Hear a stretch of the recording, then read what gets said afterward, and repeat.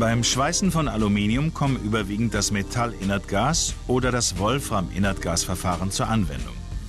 Entsprechende Schweißmaschinen sind im Fachhandel erhältlich.